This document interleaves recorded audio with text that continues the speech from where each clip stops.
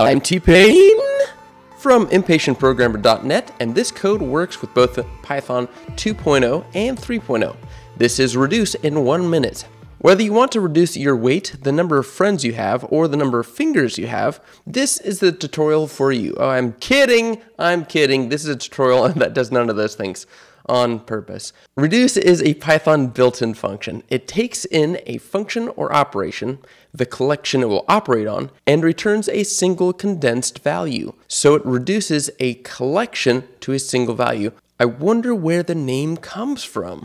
All right, so we're going to start off by importing mul from the operator module. So this is so we can get the product of an entire list. Then we're going to print out the reduced value of multiplying all the values within it together.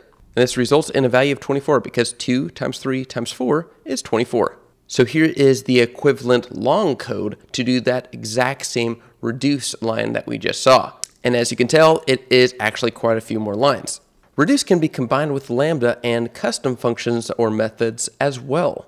These methods will take in two arguments to describe how they will be combined. So here is a Lambda version of the code we just saw.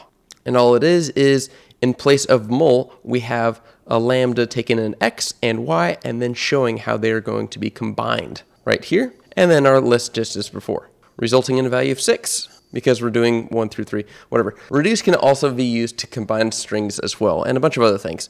I'm T Payne from ImpatientProgrammer.net, and keep the dream alive.